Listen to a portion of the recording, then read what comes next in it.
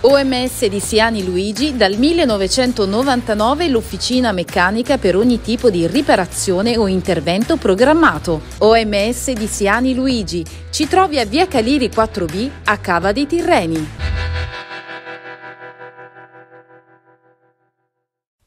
Anche a Cisterna di Latina la Cavese potrà avere i tifosi a proprio supporto.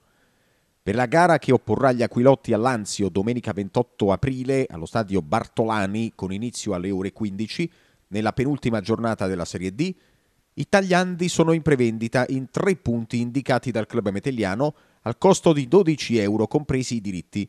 E tutto lascia credere che, allo stesso modo con cui c'era stato un buon seguito di tifosi di Cava ad Avezzano per la gara con la Boreale, Potrà avvenire la stessa cosa anche a Cisterna per l'incontro con l'Anzio, che varrà soprattutto per la formazione di mister Guida.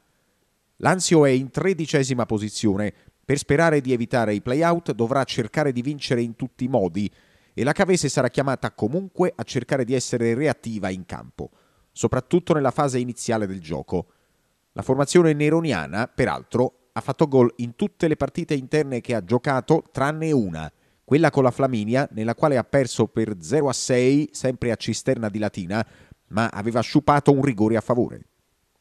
Nelle ultime due giornate del campionato ci sarà da rispettare il principio di contemporaneità tra tutti quei campi sui quali sarà in gioco il medesimo obiettivo.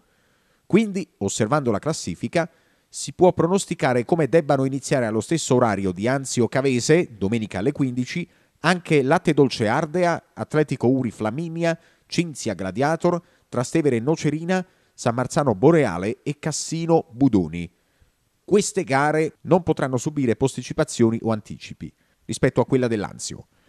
È già fatta per l'ammissione delle squadre di Romana, Ischia, Cassino e Nocerina ai playoff, con esclusione delle altre, ma nella zona salvezza nulla è ancora deciso.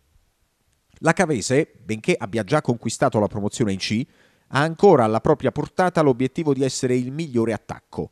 In 32 partite la squadra di mister di Napoli ha segnato 52 gol, proprio come l'Ostia Mare, ma dovrà cercare di realizzare anche nelle ultime due gare della regular season anche un gol più dell'Ostia Mare. Tra l'altro, in soli sei mesi da quando veste la casacca bianco-blu, Matteo Di Piazza ha già segnato 12 gol in 21 partite ed è il terzo giocatore con più reti nel girone G dopo Cardella e Calì, i quali in campionato hanno segnato anche contro la Cavese stessa.